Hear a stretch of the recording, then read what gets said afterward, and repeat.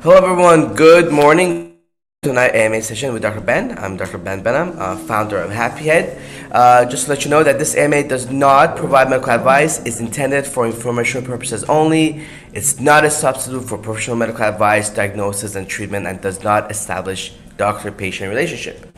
Welcome, everyone. Uh, beautiful Tuesday morning in LA. It's finally sunny, somewhat sunny, and not raining, which is great. So today, uh, basically, the the topic is what are the main causes of hair loss. There are many different causes of hair loss, as there are many different types of hair losses.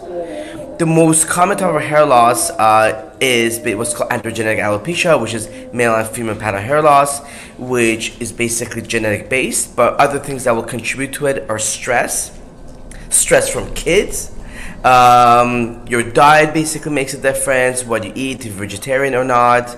Um, and um, like hormonal factors like your vitamin D, iron level, your actual testosterone level, things like that. So, and typically, what happens is that most people are genetically predisposed uh, to hair loss, and then you have some of these stressors that add on and basically accelerate that underlying genetic predisposition to hair loss. So, for example, in the past two years, we've seen like a lot of patients who got COVID or the COVID vaccine, and that kind of accelerated their underlying genetic predisposition, and they went through like a shedding phase.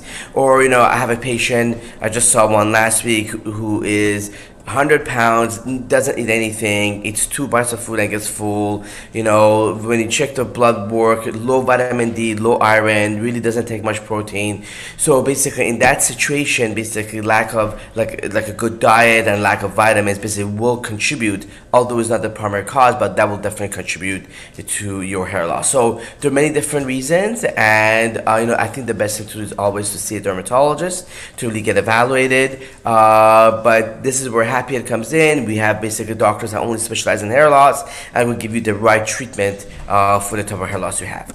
So uh, here we go, guys. We're about to get started. Again, thank you so much for the entire team here, by the way, for setting up everything as usual every week. Dutasteride is a large molecule and transdermal absorption is poor. Other companies are adding DMSO to the topical dutasteride solution to aid in the absorption. Is this something that Happy Head is considered doing and advisable? So uh, DMSO is interesting. Yes, we're definitely considering it. Uh, although dutasteride is a large molecule, believe it or not, it still does get absorbed uh, because you, you could actually still check uh, serum DHT level on topical dutasteride, and you see that it basically it, it is affected while using topical dutasteride. So it does get absorbed, and we know as a fact that when patients do use the topical dutasteride, they do get better. So the fact that the clinical results are there means it's going to get absorbed. But I do agree with you; it is a larger molecule. The problem with DMSO is that it is irritating. That's the problem. But uh, yes, we are currently working on it. Thank you so much for that recommendation. Um, what is the name of the condition that is being treated with Happy Head? So Happy Head is used to treat androgenetic alopecia, which is male or female pattern hair loss. There are a lot of different type of hair losses out there as well. Uh, there's alopecia areata, which is more of an autoimmune condition. There's cicatricial alopecia, which is like scarring type of alopecia. Uh, typically, Happy Head, we are uh, our goal is is not intended to treat those conditions. That being said, patients still with those conditions use Happy Head, and some of them still do see some improvement, so everyone's different. Is topical dutasteride more effective than topical finasteride? In clinical studies of oral finasteride versus oral dutasteride, oral dutasteride was more effective than oral finasteride. Reason being, reason is because finasteride inhibits one enzyme, uh, whereas dutasteride inhibits two enzymes that are responsible for the conversion of testosterone to DHT. That being said, there are certain patients that just do not respond to dutasteride. For example, I've had some patients that switched from finasteride to dutasteride, and dutasteride did not work at all. So they went back to finasteride and it worked again. The reason is because, in general, dutasteride does work better, but for some patients it just doesn't work at all. So, but in general, it is a better drug. How long before I see results? And what happens if I stop using the formula? Will I use all my newly grown hair? Great question. So typically results are seen within four to six months because you have to realize that hair goes through different hair, couple hair cycles before you start to grow out. Uh, hair is one of those things that once it grows out, you have to continue to maintain to maintain it. You have to use the product. So if you stop using it, yes, you will lose basically that new hair growth. Um, I want to stop losing my hair. Please help. Okay, so there are many different reasons, uh, there are many different ways and approaches basically to stop the hair loss. There are oral medications and there are topical medications generally Happy Head was uh, was created on the fact that the oral finasteride has more sexual side effects compared to topical finasterides according to clinical studies. Uh, so Happy Head's first and really best product is still our topical finasteride solution that combines finasteride with retinoic acid and minoxidil. I know there's some competitors out there now that basically have a similar product, but ours has three ingredients as opposed to two, and also our minoxidil concentration is higher than anyone else, and more importantly, ours is a customizable product, which means if there's any issues, we literally could take the ingredients out for you and customize it. More importantly, our product is made on a monthly basis for our patients, where uh, our competitors really they make a huge batch where it sits basically on the shelf for months and months and months. So there's the topical treatment, and there's also oral treatments as well. So there's oral finasteride or minoxidil and our super capsule which combines oral minoxidil, finasteride and vitamin D all in one streamlining the entire process uh, and patients really are getting great results with the super capsule. So I have LPP and frontal fibrosing alopecia diagnosed with biopsy. Will this topical help retain the Karen hairline? Great question. So for those people that don't know what these are, so LPP uh, basically it's a form of a scarring hair loss uh, where people get scarred in the frontal hairline and sometimes in the eyebrows. Uh, again, typically happy head is not indicated or used for these purposes. However, that being said, I do have patients that use them and they say that it does help. Typically, for those cases, they're tough to treat. I have a lot of patients with those conditions in my own personal office. Uh, I typically inject them with cortisone to reduce the inflammation. But again, I think you really have to see your dermatologist in person. Good morning. I've been using Happy Head for six months and I've experienced much improvement. Thank you so much. We're great to hear that. Thank you for that feedback. And again, the key with what you said was that I've been using Happy for six months plus. So look, it does take several months for patients to see improvement. You cannot use the product for one month and expect to see improvements. It just does not happen. Doesn't happen with our product. Doesn't happen with any product out there. If anyone tells you that within a month you're gonna see improvements, I would run away. What are your feelings on including a red light cap along with Happy Head prescription? We are literally working on it. I think it should. Uh, be on the website very very soon so um, I can't give you much of the details as I cannot talk about the agreement, but it's or I think it's already been form- finalized, so it should come to our website soon. Can you talk about stress-related hair loss? Can the hair come back if the stress is reduced? Do you need to be on a treatment forever? Great question. Stress-related hair loss. There are a lot of things that could cause stress. Um, obviously, work stress, family stress. I may have patients, unfortunately, that are going through a divorce, and basically that could be very stressful. Uh, I remember after I had my own, my own first kid, there was a time that I was shedding for a while, um, and also a very classic stress-induced hair loss is like pregnancy and also COVID. So uh, with a lot of those cases with stress-induced hair loss, as you reduce the stress and kind of you know move away with respect to timeline from that stressful event, a lot of the hair will come back. Um, if you go into telogen effluvium, where basically you go through such a dramatic event where you end up losing 50, 60% of your hair, not all of that hair comes back. Typically, that happens in cases uh, in cases where you know, like it's called post postpartum. So after pregnancy, you go into telogen effluvium and you lose 50% of your hair. So in those cases, you could get a lot of your hair back, but not all of it. Obviously, adding the topical or medications while you are shedding will help two ways. One, reduce the amount of shed that you have. So instead of losing like 50%, you, can, you may only lose 20 or 30%. And number two is going to basically help faster, basically to get back to where you were at the beginning. Uh, great question though. If I stop using the product, how long will it take for me to, to lose the results? Great question. So remember, you're going through different couple basically hair cycles to see the results and also for the results basically to start you to start going away. So once you start the product, you're gonna see the results in four to six months. Once you stop, you're not gonna lose the effect right away. It takes another four to six months for you to start losing the effect. Can diet help with hair growth? And also, if someone lost a lot of hair years ago, is it possible to regrow the hair? So good, good question. So first of all, yes, diet and hair loss are very important. Um, I, I, I have, I saw a patient recently who vegetarian, again, like 90 or 100 pounds, barely ate anything.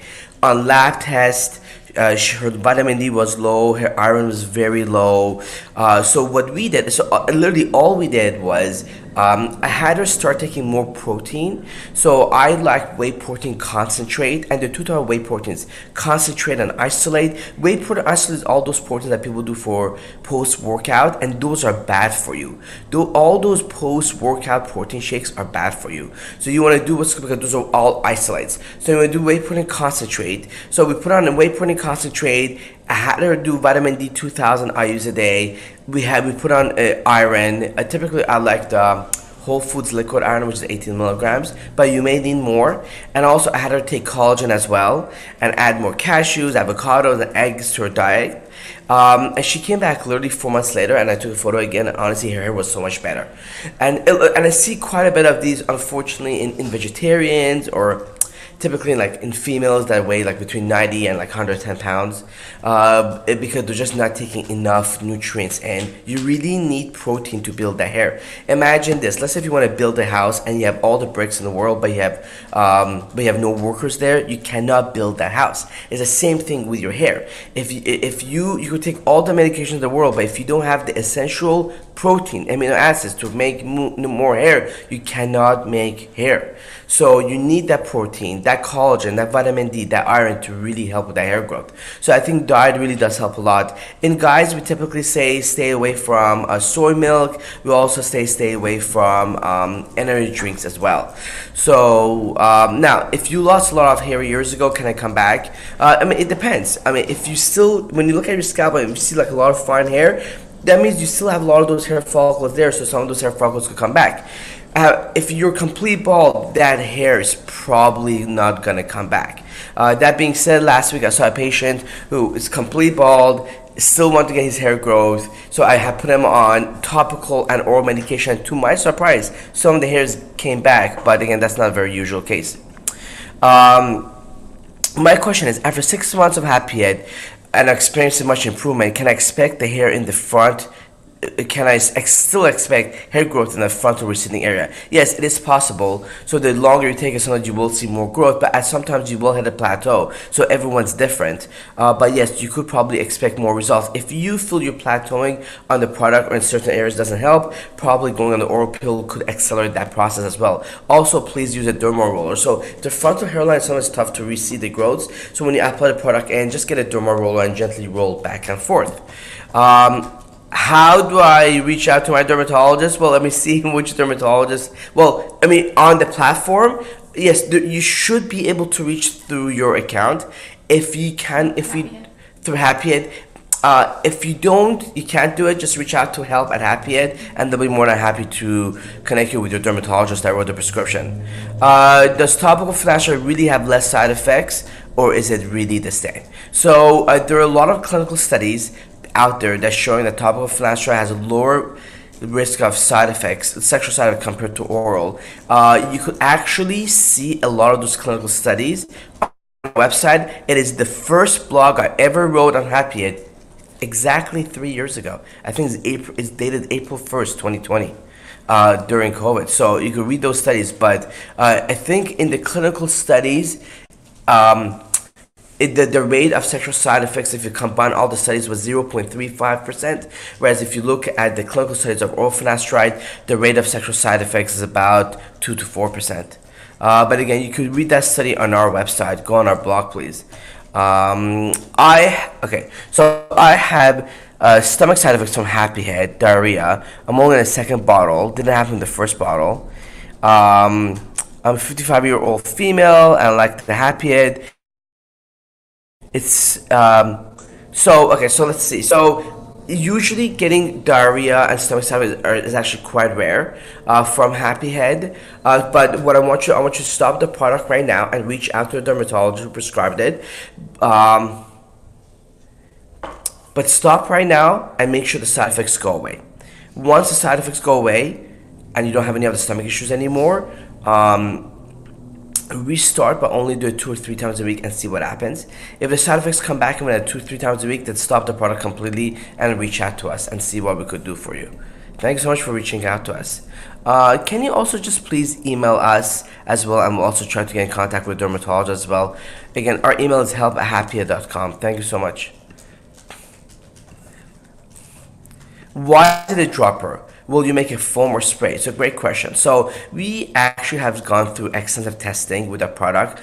Uh, our actually our original bottle of Happy Head three actually more than three years ago it was actually a spray uh, there are two problems with the spray i know our competitors have the spray but the two problems with the spray number one it's actually very difficult to achieve a 1 ml coming out from a spray. You literally have to do it like 50 times. It's really difficult. We've tried it. Number two, the spray tips actually get plugged up by the minoxidil.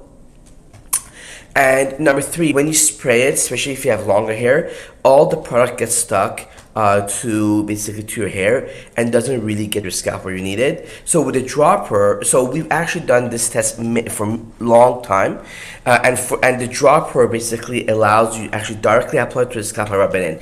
People get better results with dropper. Now, if you want in a spray, you could buy a spray bottle from CVS or Amazon and pour into a spray bottle and spray your head. Uh, but we kind of did not want to make a spray bottle. It was not as efficient, and patients did not get a great results. With respect to a foam, it, there are a lot of issues, unfortunately, with the foam, especially when you transport it, uh, especially during colder weather. Like a lot of the product-based ingredients precipitate out. Uh, that's why we don't have in the foam. Again, we've tried in the past. It's just not. Uh, the products are not very stable in the foam. For one with tension alopecia, what is the best treatment? Number one, reduce the tension, which means that don't put it. So what tension alopecia means, basically, you're having you're pulling your hair back really tight let loose. Do not pull the hair back very tight. Number two, using the product will actually definitely help along with the derma roll. So you could put the Happy product on and then basically gently derma roll on top. It will really help it. Also, PRP helps as well. Um, are, is there difference in direct recommendation for women since uh, we experience hormonal cycles? Is a great question. I mean, not really. I mean, I still like whey protein, collagen, vitamin D, and a multivitamin for everyone. For females, uh, I do recommend uh, adding an iron, and I typically don't recommend that for guys. Also, it is also recommended to check your vitamin B6 and B12 as well. I'm on finasteride minoxidil for more than 10 years and start seeing hair loss, should I move to dutasteride?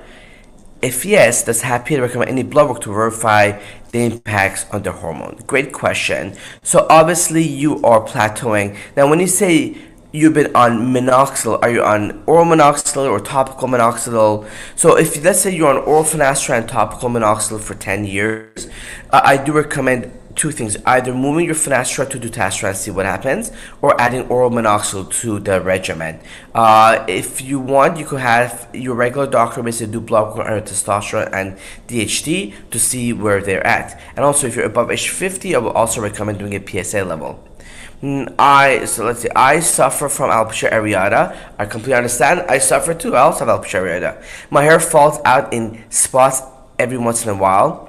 I'm currently on the minoxidil 2.5 milligram tablets. Which product would you recommend that will help my condition? So, so Happy typically is not indicated for patients with alopecia areata. That being said, there are clinical studies showing that patients that use topical minoxidil and derma roller with al- for alopecia areata, it did help. So, so you could use the general, uh, uh, the general uh, standard Happy formula, and it could help you, especially if you are already on the oral minoxidil 2.5 milligram. Hmm. How long should I take time off once a drug plateaus? That's a very good question. Uh, we I mean, so patients that plateau, we actually do not recommend coming off because although you're not seeing much improvement, but once you get off the drug, you can actually do, have regression. Uh, so my recommendation always is that when patient plateaus to add other stuff to it. So for example, if you're on the topical Happy Head, my recommendation is to add oral minoxidil, oral finasteride, or the super capsule to your regimen. Or go from the topical finasteride Happy Head to topical dutasteride or even the kitchen sink. Um, so cancers also receive Kenalog shot every few months. Uh, let me see what Ken's question was so oh so Ken yes, so Ken has alopecia areata. He's on oral minoxidil and also receiving Kenalog shot. Yes, that is correct. The gold standard for alopecia areata is Kenalog. There's also a new drug called Olumiant, although it's very expensive and if you only have a few spots, I don't think it's worth it. Um, so so I would continue the Kenalog shots. I will also add topical happy along to your oral minoxidil. Uh, can you explain the systemic absorption for oral medication? Does it mean it's more effective? Great question. In clinical studies of topical finasteride versus oral finasteride, they both seem to be as clinically effective. And in fact, in our in our in my own personal clinical practice, uh, I've actually seen sometimes the the topical being more effective because see when you take an oral medication, it has to go through your entire body. It gets absorbed by other organs before it gets to the head. When you apply topically on your head, this is where exactly you need it. So you're getting the majority absorption right there where exactly where you need it. So in some patients, the topical is honestly as effective, if not more effective than oral. But that being said, in some other patients, the oral could be more effective. The problem is with the oral, you just have more systemic absorption and more risk of side effects, such as sexual side effects like decreased libido, erectile dysfunction, testicular pain, and testicular numbness, all that stuff. Whereas those are uncommon with the topical is there brand that you recommend for the protein? So typically what I recommend, so is the whey protein concentrate. You could go on Amazon just Google whey protein concentrate. I do not have a special brand, no. Is 5 milligram of oral minoxidil too much? Well, it all depends. Look, everyone's different. So, I mean, I definitely would not start off a 90 pound female at a 5 milligram oral minoxidil. Let's put it this way. Uh, but I do have some other patients. Um, that uh, have been using oral minoxidil for a while and they slowly touch it up to 2.5 milligrams and then doing well. So sometimes I do put them up to 5 milligrams. Again, it depends on your height, your body weight, your tolerance, and if your side effects that you have. So it really depends on the individual. So you, that's something that you have to work individual with your doctor. Uh, what does topical finasteride, uh, what dose of topical finasteride do you offer? Uh, we so our topical finasteride is a 0.3% topical finasteride but again but ours is also customizable product so you could also kind of go down to other concentrations if you need it. Uh, would taking tolerance breaks help to prevent plateauing in results. That's a good question. Uh, it really hasn't really been studied. Some people do it but i'm not really sure if it basically prevents plateauing how often should one use a derma roller and for how long? Once a day, twice a day, for how long? So first of all, I think derma roller is really important. Uh, if you look on the internet, everybody says, oh my god, use the 1.5 millimeter depth. I disagree with that. I actually feel the 1.5 really hurts quite a bit. So we recommend using the 0.25 depth. Uh, you want you want to use it once a day ideally, but even if you do it every other night, that would be great. So once you apply the product, just get a derma roller and gently go back and forth, just for a minute or two. Don't press too hard. Don't make make yourself bleed. Don't harm yourself with it. Do not stay in the same area for a long period of time. You really want to roll it around. Uh, again, if you do it once a night, that would be ideal. Use a 0.25 depth. Now, when you again look on the internet, they say use it like every other week, 1.5. Honestly, really hurts. That I do not recommend that. I'm currently taking dutasteride. Is this an issue with the formula? No, not at all. So I have patients on oral dutasteride, oral minoxidil, and topical happy finasteride with minoxidil. Uh, that's really your ideal scenario. Um, so again, my only recommendation: don't start everything all at once. Uh, you, if you're on an oral dutasteride, you want to be on it for a while before you probably want to start the topical dutasteride or topical finasteride. I'm under 50. I noticed that women under 50 are recommended spironolactone. Why is that? A great question. So spironolactone is the number one choice of oral medication for female hair loss in the U.S. I'm the number one writer of spironolactone actually in LA.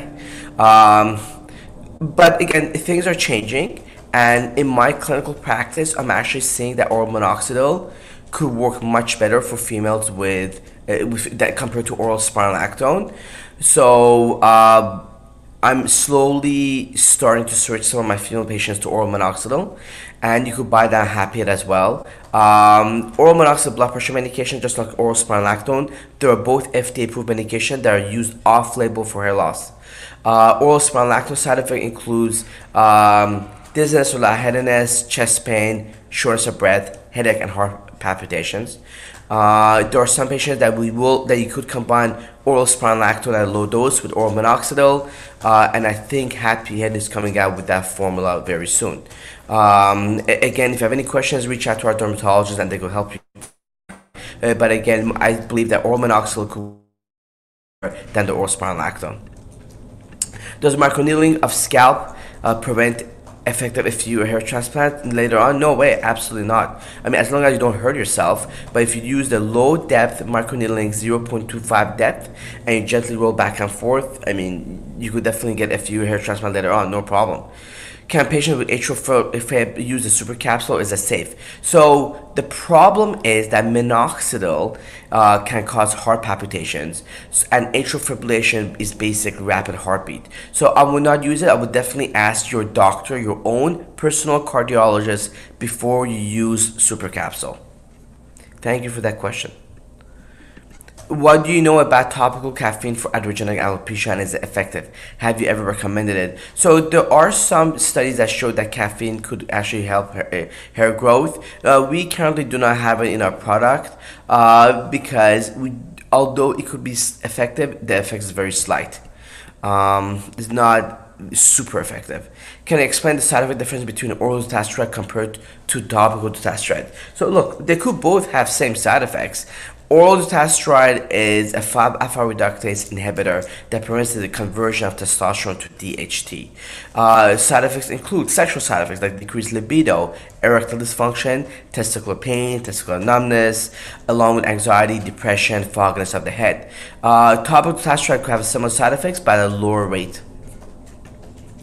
Uh, is 0.5 0.25 dermal roller long enough if you still have something in here? Yes, absolutely. That should be fine.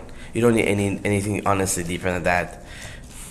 I'm currently taking uh, testosterone therapy. Um, wait a second. I'm currently taking HCG uh, instead of testosterone. However, my Leydig cell iron response. So, so, so this is a very specific question. So, basically, one of my patients are asking that they're taking hormonal therapy instead of testosterone uh, really what is the effect of hair loss. So with HCG is actually different than testosterone. So we know as a fact that if you add more testosterone to your diet, either through injection or through basically gels, that will increase your testosterone in your body, thus increasing your DHT levels, as a result more hair loss. I actually had a patient last week that said that she went on Google and showed that testosterone does not cause hair loss. That's actually wrong. Testosterone is one of the main reasons of hair loss. This is why spironolactone for females is a testosterone blocker and finasteride for males is actually also a DHT blocker. So testosterone is one of the main reasons for hair loss. Uh, and adding more testosterone to your regimen will could potentially cause more hair loss. I waste a lot of products because my hair is long. Uh, am I doing something wrong? 2 ml is enough. So well, I understand. Uh, so this is why we actually have the pipette. See, the benefit of the dropper is that you're going to put it directly onto your scalp and rub it in. Hmm, as a result, basically, you get less less wasting compared to a spray bottle. Um, but what my recommendation would be try to spread to spread it as good as you can, basically all over. Uh, I know your hair is long. I mean, there's nothing we could do about it.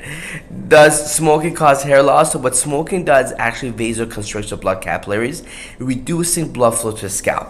When you have a reduction of blood flow, a couple things happens. One, you have less nutrients getting to the scalp, less oxygen getting to the scalp, and less oxygen results in, in elevated DHT level in your scalp because you're not washing it away. So hair, so smoking is bad. Yes, stop smoking. Okay do, okay, do I have to do anything for the redness of the scalp even if it doesn't bother me? I mean, not necessarily. As long as you're not itching or scratching it too much, you're fine. Uh, if I only use it once a day, will it still work? Yes, it will work, but it will work better if you use it twice a day. Uh, can you recap on the root cause of hair loss? Yes, there are many causes. One is genetics. Two is basically your diet, like if you don't have enough vitamin D's, iron, collagen, protein. If um, if you're eating like a lot of I mean, smoking a lot, drinking a lot, all those will affect it. Number three, stress definitely also has a major factor on your hair loss as well. Does DHEA cause hair loss? Directly, uh, well, DHEA could increase level of testosterone, thus leading to hair loss. So, in an indirect way, yes. Uh, is there a brand that you recommend for protein? Again, I typically don't have a brand. I know there's a brand called NutriCost on Amazon, uh, but again, you can really get any brand you like uh, as long as a whey protein concentrate. Alright, guys, last question. Uh, um, question whether to take oral finasteride with elevated ALT and AST. That's a great question. You really have to run that by your own primary care doctor. It depends how elevated they are and why they're elevated. Uh, typically, finasteride should not cause elevated liver enzymes. So, but if you already have elevated liver enzymes, you have to see why you have it. Like, they have fatty liver, do you drink a lot of alcohol? So, there's a lot of different reasons. So, would probably check that out first before you start the oral finasteride. Alright guys, well thank you so much for joining us. It was a very effective AMA. Um, again, if you have any questions, please be sure to uh, to talk to your own regular doctor. All the information here basically does not establish the patient-doctor relationship and is for informational purposes only. Uh, please uh, take a moment and write us a review on Trustpilot. We really do appreciate it. If you have any questions, please reach out to us at, at help at happyhead.com. Uh, and again, thank you for the entire team here for making this possible. Have a beautiful day, and we'll see you guys next week. Bye.